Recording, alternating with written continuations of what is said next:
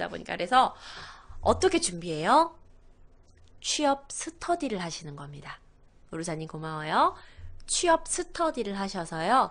다섯 명, 네다섯 명 정도가 모이셔서 KT 공채나 다른 회사 공채를 준비하면서 서로의 이력서를 읽어줘요. 어, 그러면 아까 제가 이력서 남들이 읽어주면 도움이 더 잘 된다 그랬잖아요. 이렇게 해서 이력서를 읽어주시고, 그리고 또 서로 PT 면접의 주제를 그날그날 가져오는 거예요. 야, 오늘은 너가 준비해와. 준비해오면, 나 오늘 되게 어려운 거 준비했어 하고 딱 떠나면 바로 어, 그 어떤 주제에 대해서 이야기하는 걸 모의 면접으로 스터디 그룹으로 연습을 하시는 거죠. 그래서 굉장히 스터디 그룹이 중요해요. 스터디 그룹을 안 하고 취업을 한 사람은 정말 드물어요. 그래서 저는 취업을 위해서는 대학에서의 배운 것보다 오히려 스터디 그룹을 하면서 나와 비슷한 꿈을 가지고 취직의 목적을 가진 아이들과 나누는 정보가 사실은 더 값져요. 자, 이제는 들어보겠습니다. 자, 여러분께요. 1분 스피치 자기소개에 대해선 1번 지원자요. 엉망이에요. 엉망이에요. 그래도 들어볼게요. 1분입니다. 시작! 안녕하십니까. 포기를 모르고 목표를 향해 도전하는 도전적인 남자 도정남 남지훈입니다. 면접관님들은 혹시 한라산 등반을 해보신 적이 있습니까? 저는 몇 주 전 혼자서 한라산을 등반해 본 적이 있습니다. 비록 버스를 잘못 타서 예정 시간보다 도- 시작 지점에 2시간가량 늦게 도착하였지만, 도착하였습니다. 많은 사람들이 제한 시간 안에 절대 정상까지 도달하지 못할 것이라고 얘기를 하였습니다. 하지만 저는 포기하지 않고 한라산 정, 정상인 백록담을 보기 위해 등반을 하기 시작하였습니다. 결국 제한 시간 안에 정상 안에 정상을 도, 도달할 수 있었습니다. 세상의 모든 훌륭한 업적은 희박한 상황 속에서 끊임없이 노력한 사람들이 이룬, 업- 이루, 이루, 이룬 것이라고 합니다. 아, 저는 이런 지치지 않는 열정, 열정, 열, 열정, 다시 할게요. 너무 사실 지금 일 없어요. 예, 예, 예. 잘, 네. 네. 지치지 않는 열정에, 열정으로 끝났습니다. 네, 열정 아. 외치다가. 초코곰 나갔다 들어와. 너 렉 걸렸다. 이거 어때요? 아, 밑에 화장 좀 갑자기 고칠게요. 어때요? 긴장했죠? 여러분 안 저럴 것 같아? 여러분도 다 저렇게 된다. 긴장하면. 아, 자, 문제를 해주세요. 짧은 혀. 짧은 혀. 버벅. 또. 짧은 혀, 버벅. 또. 남일 같지가 않아요. 긴장. 긴장을 하면 어떻게 보이죠? 자신감이 없어 보이죠. 자신감이 없어 보이죠?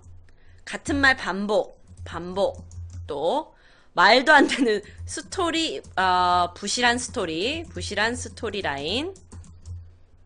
이야기 산으로 감, 한라산을 간 게 아니라 이야기가 산으로 가죠. 그게 주제가 없어요. 근데 여러분 안 이럴 것 같죠? 이분 준비해가지고 이렇게 말한 거예요.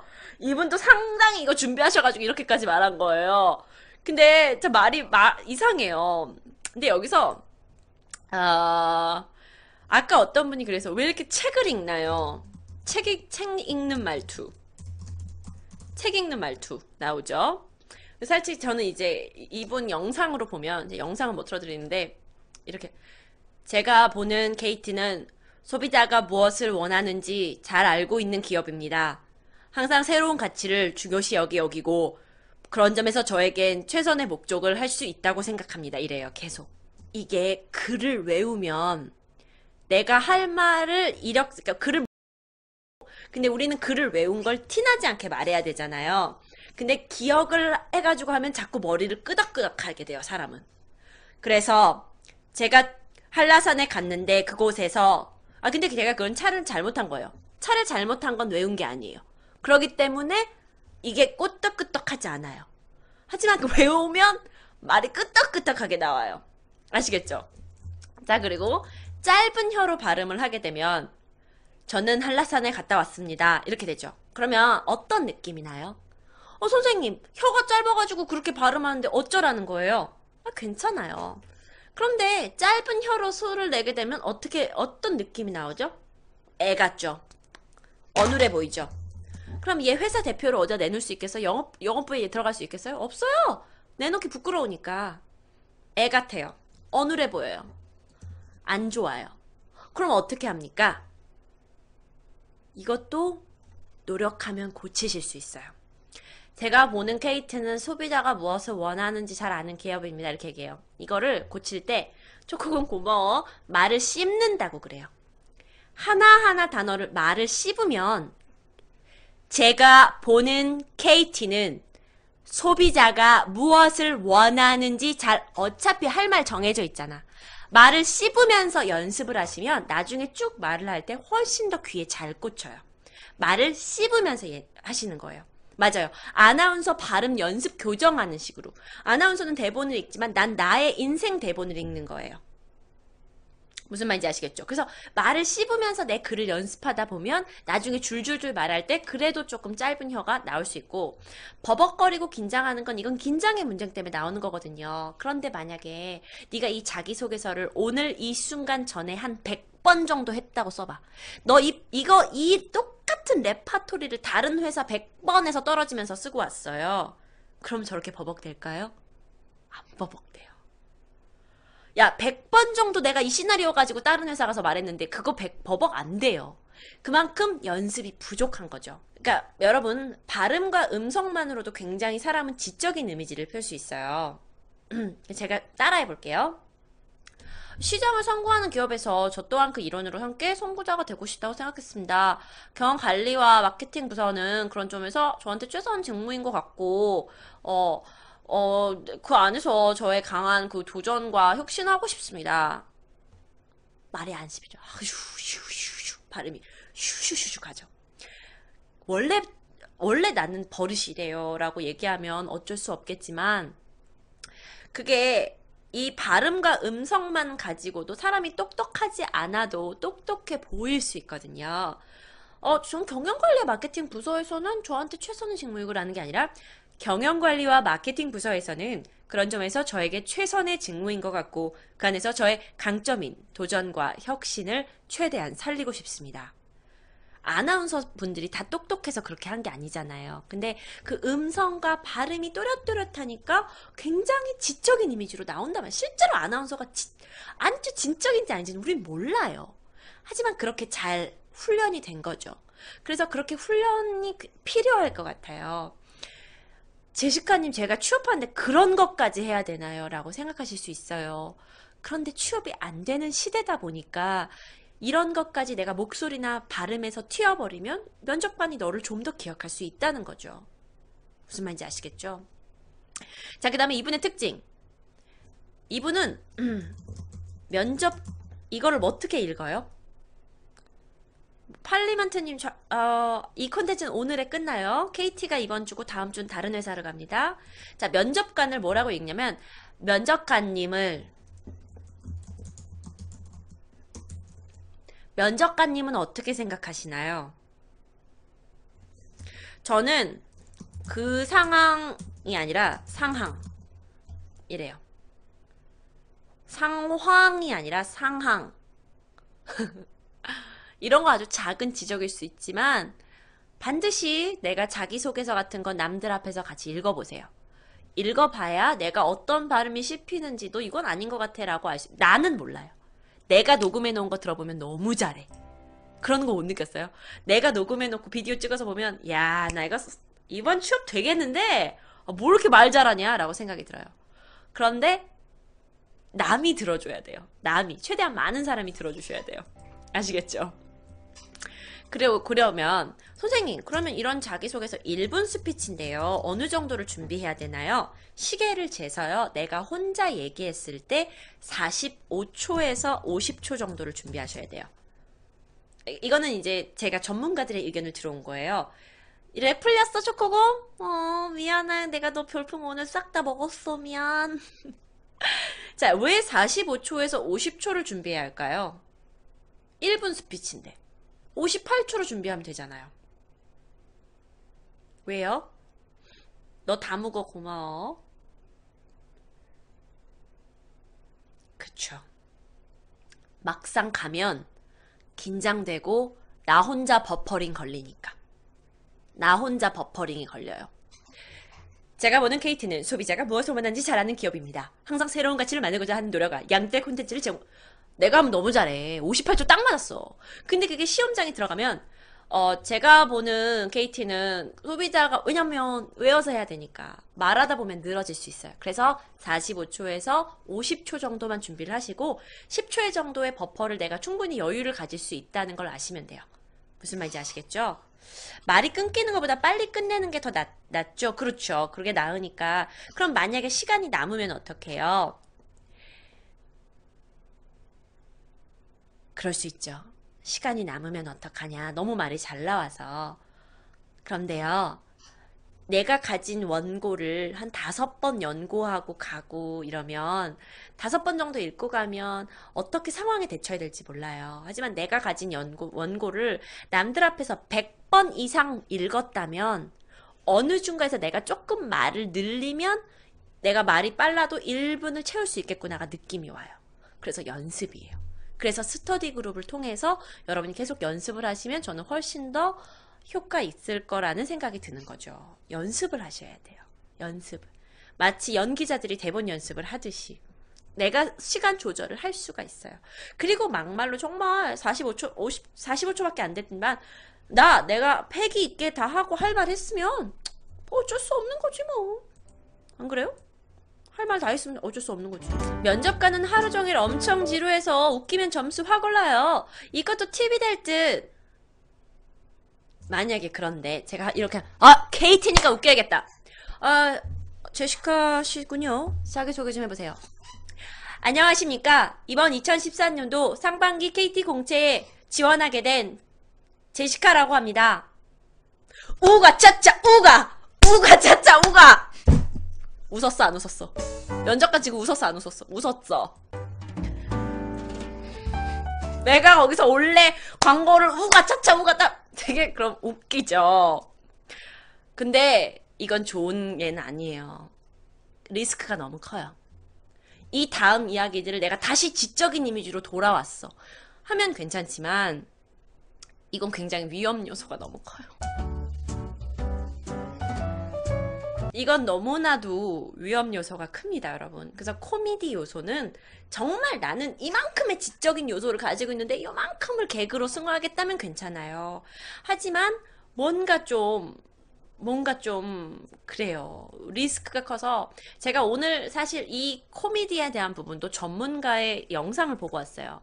근데 이 전문가들이 이, 이 어떤 프로그램에서 이제 여섯 분이 계시는데 어, 이제 그 사회자분이, 아, 이 정도 코미디는 괜찮지 않아요. 똑같은 얘기가 나왔어. 이 정도 웃겨주는 거 괜찮지 않아요. 하시는데, 웃겨주는 거 좋다. 시- 면접관을 미소 짓게 하는 건 굉장히 긍정적이에요. 하지만, 실없다는 얘기를 들을 수 있는 소지가 있어요. 그러면 나는 그 적정 수준을 만약에 모른다면, 그냥 포기하고, 원고대로 가라. 큰잉 안녕. 맞아요. 웃기는 건 좋지만 우스운 사람이 될 수는 없고 사실 떨어지는 경우도 많고. 우가차차 진짜 말도 안 되죠. 제시카님이 1분 자기소개 좋은 거 하나만 틀 좀 짜주세요. 저 면접 있어요. 여태까지 짰잖아요. 혼자 하셔야죠. 아, 나 진짜 이렇게 공짜로 먹으려는 사람들이 있다니까. 여태까지 이력서하고 자기소개서 어떻게 써야 되는지 알려줬더니 나보고 하나 써달래. 아, 나 진짜 너무 하시는 거 아닙니까? 화가 난다. 우가차차 진짜. 자, 그렇다면 이번에는 두 번째 여자분 거를 좀 들어보겠습니다. 두 번째 여자분 거 들어볼게요. 고요. 네. 심사위원을 봐주시고요. 준비 1분입니다. 시작! 사람은 하고자 하는 뜻만 있으면 무엇이든지 이룰 수 있다. 이 좌우명으로 저는 최고의 기획자를 꿈꾸는 홍가은입니다. 한계에 도전하는 것은 저에게 언제나 즐거움입니다. 대학교 1학년 때 저는 팀 프로젝트로 세상을 바꾸라 라는 과제를 받았었습니다.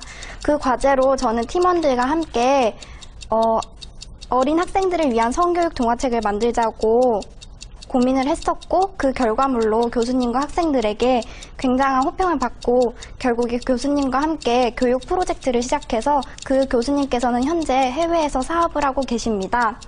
이 이를 계기로 저의 좌우명과 기획자라는 꿈이 시작되었고 지금까지 저는 복수 전공과 다양한 경험을 하면서 지금까지 달려왔습니다. 저는 이제 그 꿈을 KT에서 실현하고 싶습니다. 감사합니다. 어, 55초. 딱이네. 55초 딱이네. 아까보단 좀 잘하죠? 아까보단 좀 잘하죠? 그런데 얘의 가장 큰 문제가 있어요. 일단 내용은 둘째 치자. 얘의 가장 큰 문제가 뭔 것 같아요. 시간은 맞췄어. 아까는 막 다시 하면 안 돼요 말하다가 막 끊기는 시간은 맞췄어요. 애기 같아요. 애기 같아요. 왜 얘기하냐? 안녕하십니까? 이번 KT에 지원하게 된 홍가은입니다. 말끝이 올라가면 아기 같은 느낌이 나요. 안녕하십니까? 이번 KT를 지원하게 된 홍가은입니다. 말이 끝이 내려가야 아기 같은 느낌이 안 들어요. 목소리 자체를 우리가 바꾸자는 게 아니에요. 말이 안녕하십니까? 홍가은입니다. 가 아니라 안녕하십니까? 홍가은입니다. 이렇게 내려가야 돼요. 내려가는 음성이 사람들에게 좀 더 신뢰감을 줄 수 있어요. 무슨 말인지 아시겠죠? 저는 뭐 모르고 들었는데 고딩인 줄 알았어요. 아, 실제로 약간 얼굴도 애띤 분이에요. 전 밥 사주고 싶어요. 에헤이, 또왜 이러실까? 지금 취직해야 되는데 이분들 자꾸 어린 여성들 데려다가 밥 사주고, 어? 선물 사주고, 그, 그러시면 안 돼요. 그리고 게다가 약간 앵앵앵앵 거린 이미지가 있어요. 그러면 성숙한 느낌이 안 나는 거야. 아니 그럼 회사에 들어와 가지고는 얘가 가장 어린애고 그 위에 차장님, 부장님, 이사님하고 일을 해야 되는데 너무 성숙하지 못한 이미지를 하면 좀 그렇죠. 그리고 말을 한번 다시 들어볼게요. 말을 살짝 다시 들어보면 네. 심사위원을 봐주시고요. 준비 1분입니다. 시작! 사람은 하고자 하는 뜻만 있으면 무엇이든지 이룰 수 있다. 이 좌우명으로 저는 최고의 기획자를 꿈꾸는 홍가은입니다. 한계의 도... 자, 제 말에 지금 제가 이걸 따라해 볼 테니까 최고의 아, 한 사람은 하고 싶어하는 의지만 있다면 뭐든지 이룰 수 있다는 좌우명으로 최고의 기획자를 꿈꾸고 있습니다. 이렇게 말했어요. 너무 기계적이에요. 뭐 그럴 수 있지만 솔직히 말해서 면접관 앞에서는 살짝 기계적인 건 괜찮아요. 그런데 되게 소리가 앵앵거리잖아요. 앵앵거리잖아. 그럼 원래 저는 앵앵거리지 않는데 어떻게 얘기해요? 이게 되게 호흡이 가벼워서 그래요. 목소리는 그대로고 뜻은 사람은 하고자 하는 일만 있다면 무슨 일인지 할 수 있다는 좌우명으로 최고의 기획자가 되고 싶은 게 제 꿈입니다.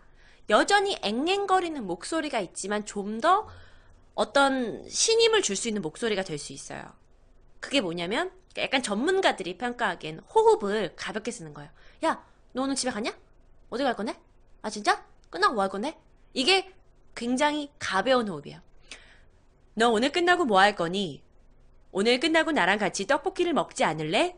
그건 깊은 호흡이에요. 그러니까 호흡을 깊게 쓰면 말에 좀 더 진정성이 있어지는 건데 그렇지 않고 너 오늘 끝나고 뭐 할 거야? 그럼 내 똑같 너 오늘 끝나고 뭐 할 거야? 집에 갈 거야? 아니면 나랑 같이 떡볶이 먹으러 갈래? 이건 가벼운 호흡이에요. 음.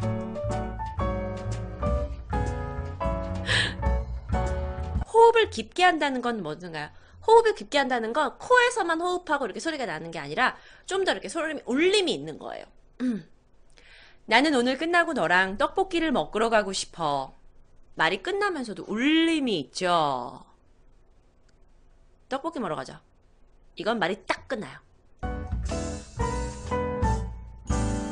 울림이 있다는 거예요, 말 자체에. 이제 좀 어려운 부분이긴 해요. 하지만 이거는 내가 만약에 정말 내 말투가 나는 별로 배운 것도 없고 별로 게 없지만 정말 말투 하나만으로 사람들을 어필하겠다 하면 충분히 여러분이 연습해서 얻어질 수 있는 부분이죠. 음. 저는 면접 볼 때 군대 말투로 했었습니다. 네, 맞습니다! 네! 저는 2014년 대학교를 졸업하고 지금 전공 과목에 매진하고 있으며 충성할 것을 맹세합니다! 이렇게, 이렇게 하셨다는 거예요?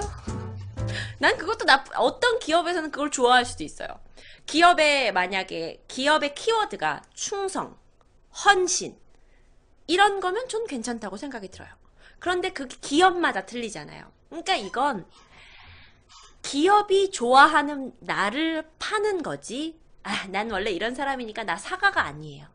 기업이 좋아하는 나를 포장해 준 거예요.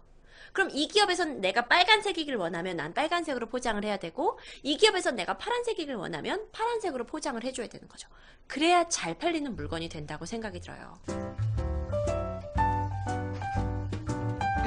무슨 말인지 알겠죠? 그러니까 많은 분들이 자기소개서를 정말 나에 맞게 아, 나 진짜 잘 썼어. 나 진짜 열정적이야. 하고 내가 막 잘한 것들을 쓰는데, 물론 내가 잘한 걸 쓰는 걸 좋지만, 그 회사가 바라는 바를 생각해서 쓰셔야 돼요. 정말 내가 잘하는 게 창이야. 그런데 이 회사는 공사야. 창의를 원하지 않아. 시간 내에 맞춰주고 우리가 만들어낸 룰을 따르기를 원하는 회사인데 거기다 난 창의력 있다고 아무리 외쳐봤자 아무런 소용이 없다는 거죠. 무슨 말인지 아시겠죠? 그래서 회사에 맞는 전략을 가지고 만들어내시는 게 좋고 그걸 문장 이력서를 하나만 가지고 있으면 안 되잖아요. 뭔가는 창의성을 좀 더 내세운 거, 어떤 건 좀 열정을 내세운 거, 어떤 건 좀 더 헌신을 내세운 거 여러 가지 이력서와 자기소개서를 가지고 회사에 맞게 넣으시면 될 것 같아요. 스터디 그룹 통해서 준비하시면 굉장히 효과적일 것 같고 디바 제시카는 여러분과 매주 월요일 이렇게 취업 방송 하고 있습니다. 오늘 준비한 건 여기까지예요. 이 아파트가 되게 사무실이에요. 항상 쓰레기장에 가면 기웃거든. 왜냐면 나 우리 집에 있는 바 의자 있잖아. 방금 그것도 누가 멀쩡한 걸 버렸더라고 바 의자를.